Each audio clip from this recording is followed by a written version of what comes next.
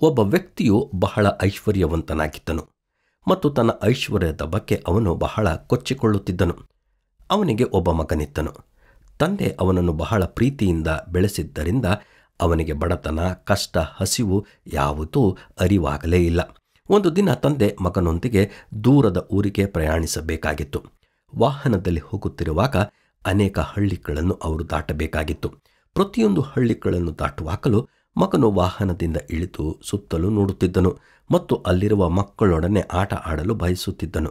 ಆದರೆ ತಂದೆಯು ಅವನಿಗೆ, ಅವರು ಬಡವರು, ಅವರ ಬಳಿಗೆ ಹೋಗಬಾರದು ಎಂದು ಹೇಳಿ ಅವನನ್ನು ಕರೆದುಕೊಂಡು ಮುಂದಕ್ಕೆ ಹೋಗುತ್ತಿದ್ದನು.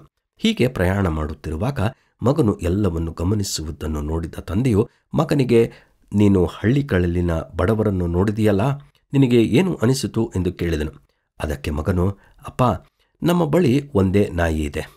ಅವರಿಗಾದರೂ ಅನೇಕ ನಾಯಿಗಳಿವೆ. ನಾವು ಸಣ್ಣ ಸ್ನಾನದ ತೊಟ್ಟಿಯನ್ನು ಹೊಂದಿದ್ದೇವೆ. ಆದರೆ ಅವರು ದೊಡ್ಡ ದೊಡ್ಡ ನದಿಗಳನ್ನು ಹೊಂದಿದ್ದಾರೆ. ನಾವು ವಾಸಿಸಲು ಸಣ್ಣ ಸ್ಥಳವನ್ನು ಹೊಂದಿದ್ದೇವೆ. ಆದರೆ ಅವರು ದೊಡ್ಡ ಗದ್ದೆಯನ್ನೇ ಹೊಂದಿದ್ದಾರೆ. ನಾವು ಬೆಳಕಿಗೆ ದೀಪವನ್ನು ಹಚ್ಚುತ್ತೇವೆ. ಅವರಾದರೋ ಲಕ್ಷಾಂತರ ನಕ್ಷತ್ರಗಳ ಕೆಳಗೆ ಮಲಗುತ್ತಾರೆ.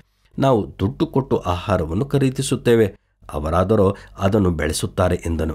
ಇದನ್ನು ಕೇಳಿದ ತಂದೆಯ ಕಣ್ಣಿನಲ್ಲಿ ನೀರು ತುಂಬಿತ್ತು. ತಾನು ಎಷ್ಟು ಬಡವನೆಂದು ತಿಳಿದುಕೊಂಡಾಗ ಅವನಿಗೆ ತನ್ನ ತಪ್ಪಿನ ಅರಿವಾಯಿತು. ಬಡವರನ್ನು ಹಾಸ್ಯ ಮಾಡುವವನು ಸೃಷ್ಟಿಕರ್ತನನ್ನೇ ಹೀನೈಸುವನು ಎಂದು ಬೈಬಲ್ ಹೇಳುತ್ತದೆ.